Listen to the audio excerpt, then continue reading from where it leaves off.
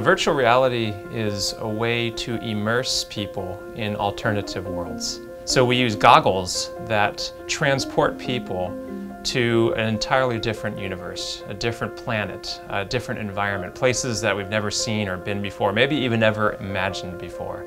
We meet patients where they are. We come to their hospital room and uh, we fit them with the goggles, make sure they're, they're snug and comfortable. And then we bring them through the video experiences. One video brings people to Iceland, where they get in a helicopter and they can explore these unbelievable topographies. The second video is an art studio, which is an opportunity for patients to sit back and draw a painting. The third video is great for people that love the water and love the sea. They can swim with dolphins and with uh, sea creatures like uh, blue whales. It takes about 20 minutes of time and then afterwards we sit down and find out what they thought of it and spend a little time learning from them. So what we're doing here is part of a larger initiative to find out how to use digital technologies to improve the value of care at Cedars-Sinai and beyond.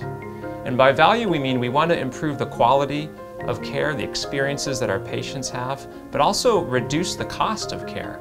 And something like virtual reality might be able to do that by reducing the resources that are used or shortening the length of stay that people spend in the hospital and as a result improve their overall experience and reduce resources at the same time.